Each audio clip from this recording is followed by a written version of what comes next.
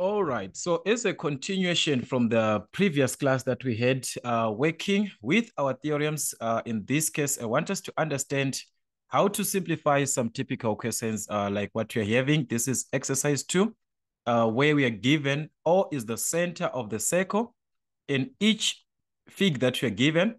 Uh, so in each case, determine the value of the lower case letters, that is A, B, C, and so on. Uh, give reason for each statement. So we are given, uh, I want us to consider the first question uh, and see how we are supposed to uh, find out these letters that we are given. Uh, so if we check, we've got the letter A, the letter B, and also the letter C. Uh, and that is a, a cyclic quad. If you check, there is J, the K, the M, and N. All these four points are on the vertices of our circle.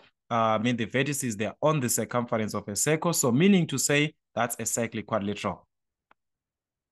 We can consider theorems about a cyclic uh, quadrilateral. So we can consider uh, the part of a cyclic quadrilateral in that case. Uh, and also considering that O is the center, remember the relationship about the center and the angle at the circumference, this angle here.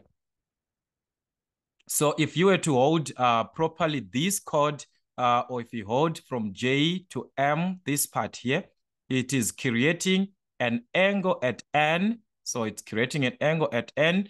At the same time, it is creating an angle at A, which is at the center. So this angle A, the one that is at the center is twice the angle at the circumference. All right, so that's the reason. So as I am explaining, I'm also giving you the reasons. So A is going to be two times this angle, 32. So that is two times uh, 32 degrees, which is going to give us uh, 64 degrees. So you just need to know your theorems. So this is because angle at the center is twice angle at the circumference. Remember that. So that is, we have got angle of A, which is 32 degrees, uh, which is uh, 64 here. So this is 64 degrees. All right.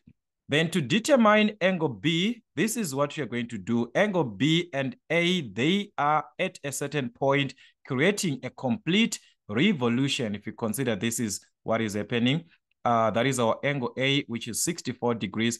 Remember that a complete revolution adds up to 360 degrees. So if it adds up to 360 degrees to determine angle B, which is the angle that is remaining, we are going to subtract that from 360. So that is because uh, a complete revolution is equal to 360 degrees. So this is going to be 360 degrees minus uh, 64 degrees, which is this angle that we determined uh, before. So that was the whole part of our question. So if we had to subtract 360 uh, minus 64, this was going to give us 296. So that is what you are going to have at the end. So meaning to say this is going to be 296 degrees. All right. So you have angle B, which is this one. This is a reflex angle. This one is called a reflex angle. The angle that is more than 180, but less than 360 degrees. All right. So using the same concept, you're going to see that angle C can be determined the same way or the, using the same approach of angle A. Remember, A is the angle at the center, this one, to this angle at the circumference. So it follows that angle C is the one that we are referring as the angle at the circumference, while list B is its angle at the center, this B, this one. So angle B, it affects angle C, whereas angle A, it affects angle 32. That is how the angle at the center concept. So this one is the angle at the center B, whilst angle C is the angle at them at the circumference, or you can use this concept. Remember, we talked about a cyclic quadrilateral. We know that opposite angles of a cyclic quadrilateral, they must add up to 180 degrees. They are supplementary. So to determine angle C, there were so many ways uh, to do that.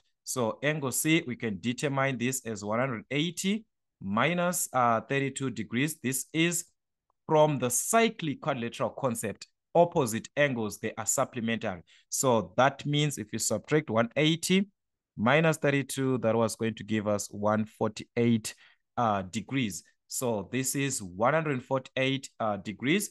Or you can use the concept that I was saying that uh, angle C is the angle at the circumference, whereas angle B is the angle at the center. So it follows that angle C can be determined as the angle at the center divided by 2. The angle at the center, which is angle B, that is 296 degrees. Then we divide this by, by 2. So that is 296 divided by 2. We are going to have uh, the same answer of 148 degrees. So angle C is at the circumference, B at the center. That is the case. Uh, that is the case of our question. All right, let us consider the second.